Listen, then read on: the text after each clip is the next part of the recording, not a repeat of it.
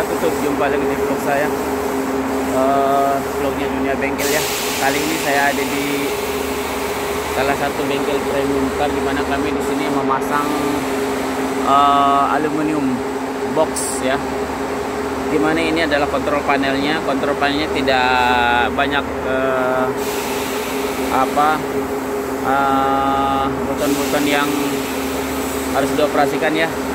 Simple sekali. Ini adalah main switchnya dan ini adalah uh, blower blower pan yang bisa sirkulasi dan yang uh, ini yang sirkulasi yang ini yang exhaust saja.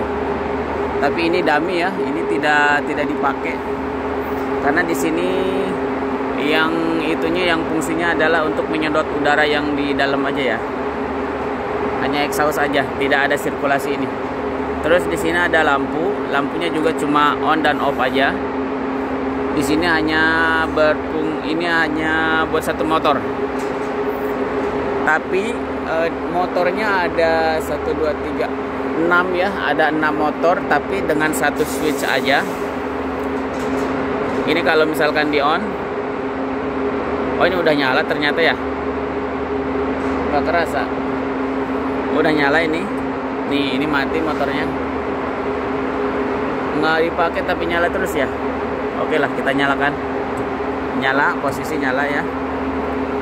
Terus ini indikator di mana kalau misalkan ada listrik dia maka on terus. Yang ini kalau misalkan ada kerusakan di motornya maka ini akan nyala. Nggak semua motor tapi ada salah satu motor yang rusak ini akan nyala. Oke nampak keluar seperti begini ya. Nampak keluar ada empat pintu tinggi 6 meter tinggi 5 meter lebih ya. Panjang 8 lebar 6 terus di sini ada juga service door. Service door kami pasang di sini tadinya di sebelah sono di pojok ya. Kami pasang di sini karena dari belakang itu nggak ada ini. Nggak ada. Oh ini repeatnya udah rusak sahabat. Baru dipasang repeatnya udah menganga lagi. Uh, konstruksi dalamnya seperti begini ya. Ini ada unit buat uh, apa sisor lip tapi ini bukan dari kami yang supply ya. Sisor lipnya ada di sana. Di mana kalau mereka lagi nyerepis maka mobilnya akan disimpan di sini. Tergantung kebutuhan naiknya seperti apa setinggi apa. Konstruksi dalam seperti begini ya. Lampu ada sebelah kiri dan kanan ada empat ya ada tiga. Tiga tiga jadi enam di dalamnya ada empat biji uh, led light. Terus ini ini fungsinya untuk menghisap ya untuk menghisap udara yang dari bawah langsung ke atas. Di mana di atas juga ada satu dua tiga filter kiri dan kanan. So, jadi jumlahnya 6 lampu juga ada tiga kiri kanan 6 uh, eh, ini juga ada kiri kanan ada dua-dua ya sebelah sini satu sebelah eh di sini ada tiga.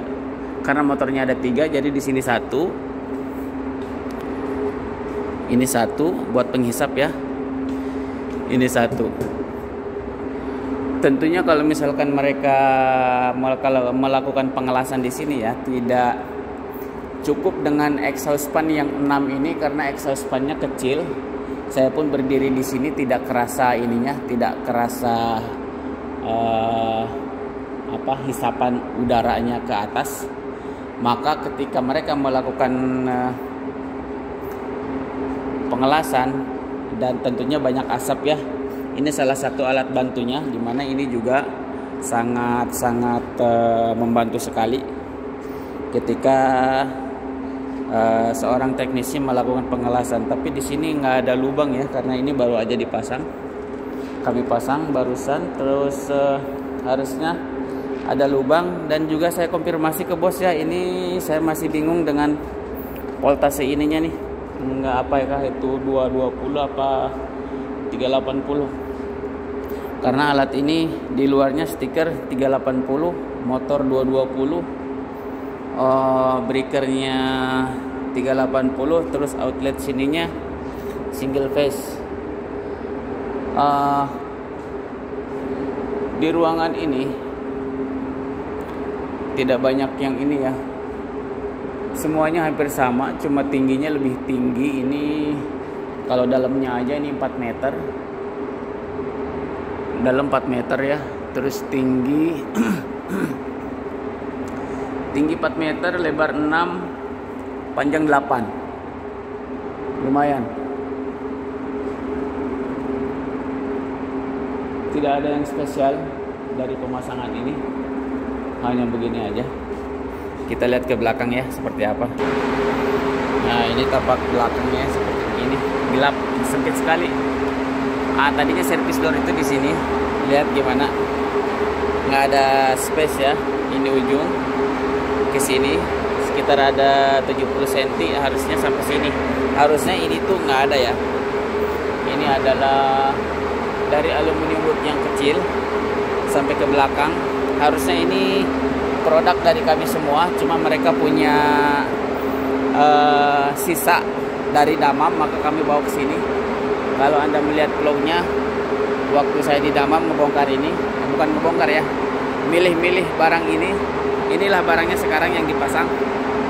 Harusnya servis door di situ ya yang gua ada yang dari Bloton itu di sini tapi ternyata enggak ini enggak muat karena ada ini.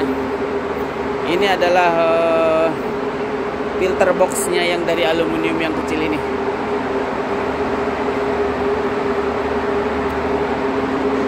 Oke sahabat nggak ada yang hal-hal yang kiranya ini ya perlu diketahui karena ini simple sekali. Barangnya seperti begini doang cuma tinggi doang tinggi lebar dan panjang beda. Oke sekian dari vlog saya sampai jumpa di vlog berikutnya